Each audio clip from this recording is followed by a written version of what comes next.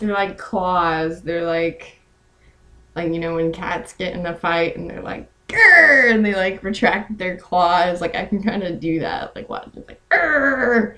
Rah! Grr! It's like that.